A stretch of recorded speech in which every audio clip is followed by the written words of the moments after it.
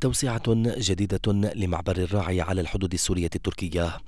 ساحة تبلغ مساحتها 16 دنما مخصصة لتفريغ البضائع تم إنشاؤها بالتنسيق مع الحكومة السورية المؤقتة والهدف المرجو منها زيادة وتيرة النشاط التجاري وتسهيل دخول شاحنات المساعدات الإنسانية إلى داخل البلاد.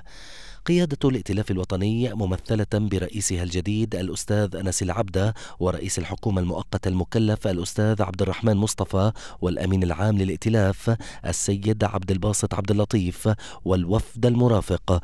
قاموا بجولة تفقدية للمعبر تأكدوا خلالها من حسن سير العمل وناقشوا مع مسؤوليه سبل تيسيره لأداء أفضل.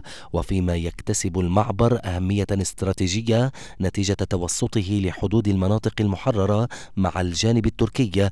أوضح مدير عام المعبر السيد نضال عثمان أن سوية العمل في تطور مستمر وأن حركة النقل فيه ارتفعت من 40 شاحنة تجارية بداية تأسيسه لقرابة المئة وخمسين. وبينما بين عثمان لوفد الائتلاف الوطني نية الإدارة والحكومة المؤقتة إنشاء ساحة ثانية لتفريغ البضائع وإحداث مبان جديدة منها مبنى إداري وآخر للهجرة. أكد عثمان لقيادة الائتلاف والحكومة المؤقتة زيادة الجهد لتوفير فرص عمل جديدة للمواطنين ضمن المعبر. وأكد على زيادة كم النشاط التجاري وفيما تشير الأرقام إلى زيادة عدد شاحنات المساعدات الإنسانية إلى قرابة الأربعين شاحنة توضح الوقائع أثر افتتاح المعبر وتطويره على تيسير عمل دخول الشاحنات حيث بات بمقدور السيارات التجارية التركية الدخول ولأول مرة لتفريغ حمولتها مباشرة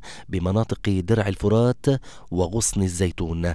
وفيما اختتم وفد الائتلاف والحكومة زيارتهم التفقدية لمعبر الراعي بتوصيات تؤكد ضرورة الاستمرار في العمل على تطوير الأداء. أكمل الوفد جولته على مؤسسات القطاع الخدمي في الشمال السوري وذلك في إطار مساعيه لزيادة حسن عملها.